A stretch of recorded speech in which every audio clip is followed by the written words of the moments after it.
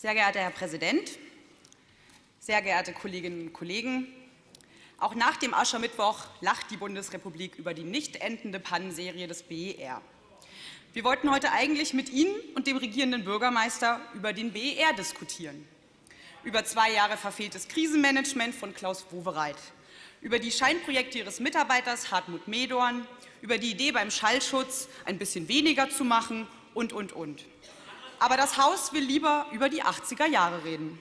Okay, dann machen wir das eben.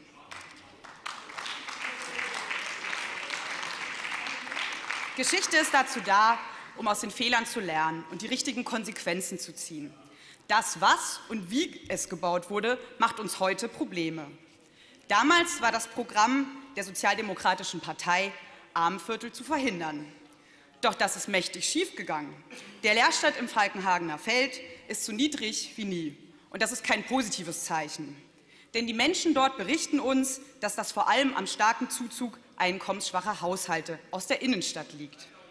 Wir müssen vermeiden, dass sich Armut im Falkenhagener Feld und in anderen Kiezen und Stadtteilen konzentriert, die übrigens nicht alle am Stadtrand liegen.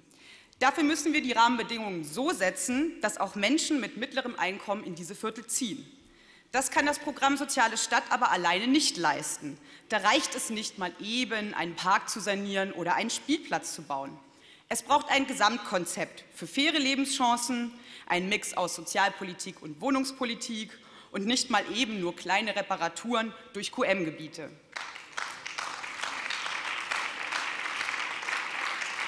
Wir brauchen vor allem gute Bildungseinrichtungen, eine bessere Verkehrsanbindung und eine größere Nutzungsmischung. Und vor allem müssen wir die zunehmende Verdrängung von Menschen aus ihren Stadtteilen und Kiezen, wo sie gern leben, auch verhindern. Sie haben zehn Jahre lang dafür nichts getan, dass die Stadt für alle bezahlbar bleibt. Es gab ja angeblich kein Problem. Und jetzt müssen wir ihre lang langjährige Untätigkeit ausbaden. Auch wenn die Wirtschaftskraft steigt und die Kaufkraft, ist die Kaufkraft in Berlin so niedrig wie in kaum einer anderen Großstadt. Die Mieten dagegen steigen unaufhaltsam. Die Berliner Einkommen halten da nicht mit. Und es ist nicht nur der neue Einwohnerzuwachs, der Berlin eine neue Wohnungsknappheit und Verdrängung bringt. Es ist vor allem die zunehmende Immobilienspekulation, seit die globalen Finanzmärkte das Heil nicht mehr in faulen Derivaten, sondern in Sachwerten suchen. Und da man eine hohe Rendite erwartet, steigen die Mieten eben exorbitant. Und deshalb gilt es, der Erhalt bezahlbarer Mieten für Familien, für Alleinerziehende, für Rentner, für Studenten und Künstler sind der Dreh- und Angelpunkt für eine lebenswerte und sozial gerechte Stadt.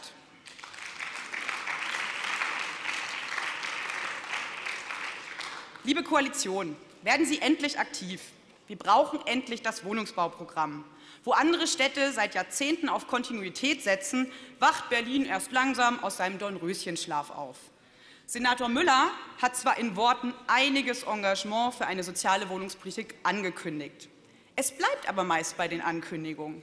Eine wohnungspolitische Gesamtstrategie fehlt in dieser Stadt. Bisher wurde vom Senat lediglich ein sogenanntes Mietenbündnis mit den landeseigenen Wohnungsbaugesellschaften vereinbart. Das war ein erster Schritt in die richtige Richtung. Aber die landeseigenen Wohnungsbaugesellschaften brauchen auch ausreichend Wohnungen in der Innenstadt und vor allem auch in guten Wohnlagen.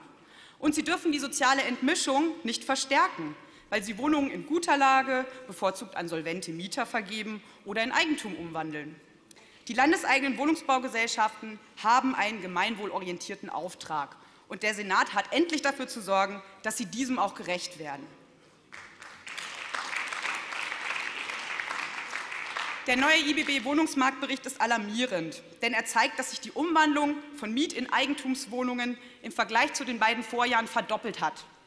Die Mieten in umgewandelten Wohnungen liegen bis zu 30 Prozent höher als in nicht umgewandelten Wohnungen. Und deswegen ist das ein Problem. Die Umwandlungsverordnung, und die versprechen Sie uns hier schon seit über einem Jahr, kann der Spekulation mit Wohnungen einen Riegel vorschieben. Selbst die CSU will das jetzt machen.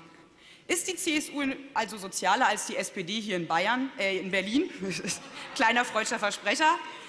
Bei Ihnen scheint die Politik des solidarischen Miteinanders leider unbekannt verzogen zu sein. Naja, ich kann keinen großen Unterschied zwischen der CDU in Berlin und der CSU erkennen, deswegen ist mir das. Kommen wir noch kommen wir noch mal auf die Großwohnsiedlung, vor allem in der Innenstadt, zurück. Wir haben da eine absurde Situation, nämlich dass gerade die Familien, für die Sozialwohnungen extra gebaut wurden, dass gerade diese Menschen nun für diesen mafiösen Wohnungsbau, den sie jahrelang systematisch betrieben haben, bluten sollen. Sie sitzen dieses Problem aus und lassen die Leute im Regen stehen. Sie sind nicht, mal ein, nicht einmal bereit, Cotti und Co. dabei zu unterstützen, selbst einen Weg für eine Rekommunalisierung zu finden. Und der Cotti gehört übrigens zu den Gebieten, in die viel Geld aus der Städtebauförderung geflossen ist. Die jahrelange Arbeit von Quartiersmanagement und Sozialinitiativen machen Sie hier zunichte, wenn Sie es zulassen, dass die Menschen dort ihr Zuhause verlieren.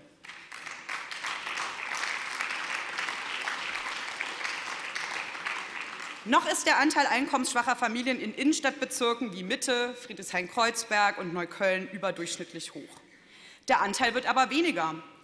Und das nicht, weil der Senat eine gute Arbeitsmarktpolitik betreibt sondern weil die Menschen, die arbeitslos sind oder geringe Einkommen haben, sich ihre Wohnungen dort nicht mehr leisten können. Und diese Verdrängung zeigt sich in ganz Berlin wellenartig. Dabei geht es immer weiter nach draußen an den Stadtrand. Sie sind es den Berlinerinnen und Berlinern bis heute schuldig geblieben, angemessenen Wohnraum zu schaffen, um zu vermeiden, dass sich diese Stadt sozial spaltet. Sonst würden wir heute überhaupt nicht über dieses Thema reden müssen. Um diesen Trend umzukehren, braucht es zusätzlich zu den Maßnahmen im Bestand auch Neubau. Bezahlbarer Neubau wird bei der Linderung der Wohnungsknappheit aber immer ein Tropfen auf den heißen Stein sein. Trotzdem, auf den lange angekündigten Wohnungsbaufonds warten wir immer noch. Das Berichtsdatum des rot-schwarzen Antrags vom Herbst wurde auf Ende April verschoben. Das ist zu spät, denn die Neubauzahlen zeigen zwar einen Anstieg von Neubau- und Baugenehmigungen, aber es gibt immer noch keinen geförderten Wohnungsbau, der geht sogar immer mehr verloren. Wenn man sich anschaut, was gebaut wird, wird schnell klar, dass mit Wohnungen im Luxussegment keine Entlastung des Wohnungsmarkts zu erwarten ist. Wer die politische Aufgabe, bezahlbare Wohnungen für alle zu schaffen, nicht angemessen löst, der riskiert den sozialen Frieden im Land. Es geht doch heute insgesamt um die Frage, die zentrale Frage von heute ist doch, in welcher Stadt wollen wir leben? Wollen wir in einer Stadt leben, in der die Menschen Spielbälle von Spekulanten sind? Wollen wir in einer Stadt leben, in der nur noch Reiche sich Wohnungen leisten können? Wollen wir in einer Stadt leben, in der allein Investoren darüber entscheiden, wer im Kiez leben darf? Nein.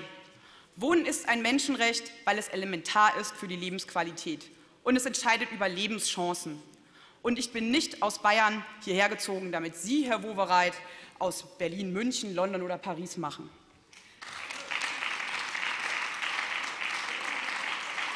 Noch ist, noch ist Berlin die größte Mieterstadt in Europa, die nicht in arm und reich geteilt ist. Noch haben Sie die Chance, die verfehlte Wohnungspolitik von damals zu korrigieren. Also los geht's.